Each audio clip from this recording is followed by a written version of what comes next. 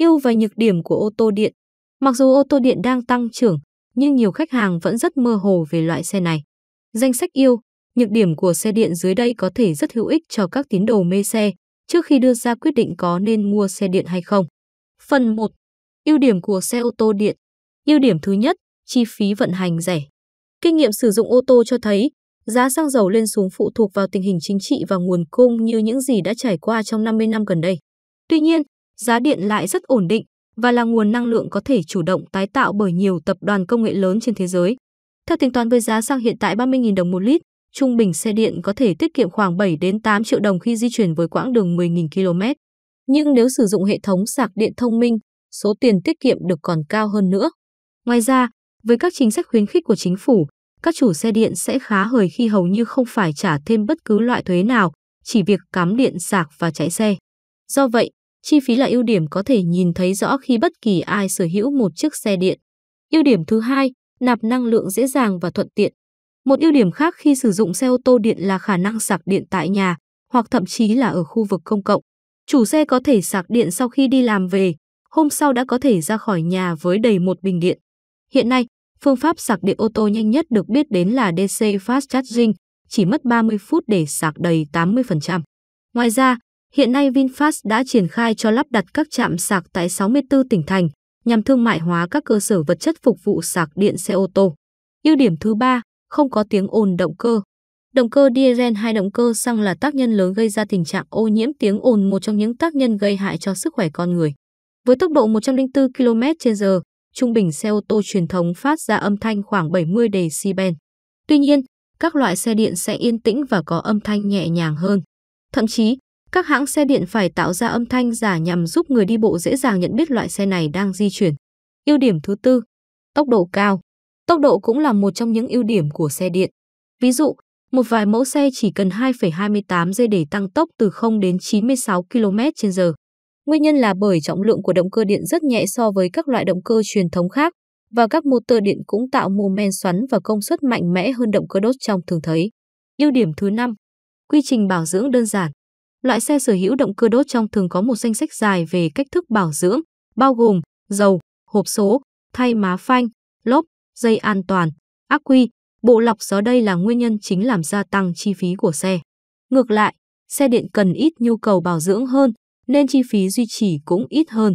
Motor điện chỉ có một phần chuyển động trục quay nên rất đáng tin cậy và không cần bảo dưỡng thường xuyên.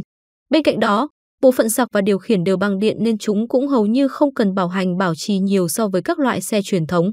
Ưu điểm thứ 6, thân thiện với môi trường.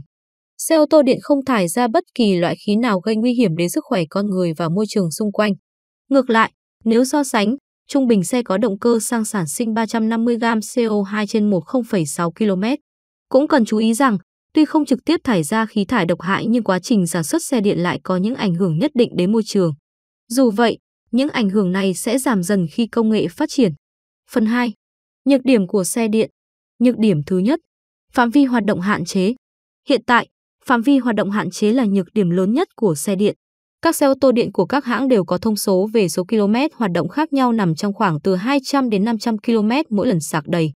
Phạm vi hoạt động của một số loại xe điện mới ra mắt gần đây như sau: Tesla Model S và Model X trên 400 km, Tesla Model 3 trên 350 km, Chevrolet Bolt 383 km, Nissan Leaf 2018 trên 320 km. Nhược điểm thứ hai, chi phí ban đầu cao. Chủ xe thường phải bỏ ra chi phí ban đầu cho xe điện cao hơn xe có động cơ xăng và động cơ diesel. Tuy nhiên, mức giá xe điện có thể giảm so với xe truyền thống vào năm 2022. Bên cạnh việc chờ đợi thị trường thay đổi trong một vài năm tới, hầu hết các loại xe điện hiện nay đều chứng minh được lợi ích về chi phí trong lâu dài, nhờ việc tiết kiệm nhiên liệu, chi phí bảo dưỡng và các khuyến khích của chính phủ. Nhược điểm thứ ba, hệ thống cơ sở hạ tầng hỗ trợ chưa hoàn thiện. Cơ sở hạ tầng cho việc sạc điện là một nhược điểm khác, nhưng hiện trạng đang được cải thiện nhanh chóng. Theo HIT, các trạm sạc điện trên toàn cầu sẽ tăng từ 1 triệu trạm vào năm 2014 lên hơn 12,7 triệu trạm vào năm 2020. Trong đó, số lượng trạm chỉ mất 30 phút sạc để di chuyển 130 km đang xuất hiện ngày càng nhiều. Nhược điểm thứ tư, thời gian nạp lâu. Theo thông số nhà sản xuất nếu sử dụng sạc nhanh trong 30 phút, thì xe ô tô điện có thể vận hành đến 130 km. Nếu nạp chậm thì mất 4 giờ một lần nạp đầy. So với xe xăng thì chỉ mất 5 phút để đổ đầy bình xăng và có thể vận hành từ 600 km đến 1.000 km, tùy thể tích bình chứa nhiên liệu của từng loại xe. Điều này chứng tỏ xe ô tô điện rất bất tiện với những người sử dụng xe đường dài và những người sử dụng xe thường xuyên. Nhược điểm thứ 5, chưa được thị trường đánh giá qua thực tế sử dụng. Thực tế một hãng sản xuất xe hay một dòng sản phẩm mới ra mắt, các hãng đều quảng cáo rầm rộ về chất lượng cũng như tính năng về sản phẩm. Nhưng để đánh giá chất lượng thực tế tốt hay xấu thì mất thời gian dài khoảng từ 5 năm trở lên. Tại Việt Nam rất nhiều sản phẩm ra mắt quảng cáo rầm rộ, nhưng sau chưa đầy 2 năm sử dụng, người tiêu dùng khóc dòng vì chất lượng kém, nhà phân phối thì thao chạy. Nhược điểm thứ 6, ít lựa chọn cho khách hàng. Các xe điện mới hiện đang được ra mắt theo tuần suất hàng tuần, nhưng sẽ mất vài năm nữa để tới tay khách hàng. Chính vì thế, hiện nay khách hàng có khá ít lựa chọn về chủng loại, mẫu mã, giá cả để lựa chọn. Vậy, xe ô tô điện có thực sự đáng chờ đợi? Mặc dù công nghệ vẫn còn non trẻ, nhưng dường như số lượng ưu điểm của xe ô tô điện đang vượt trội so với nhược điểm. Nhờ các đặc điểm về hiệu suất, độ an toàn cao, không phát thải, xe điện đang dần chiếm được tình cảm trong con mắt của những khách hàng khó tính nhất. Dự kiến thị trường mua bán ô tô điện sẽ còn phát triển rực rỡ trong thời gian tới. Có thể thấy rõ, xe điện chính là một lựa chọn của tương lai rất đáng được mong đợi.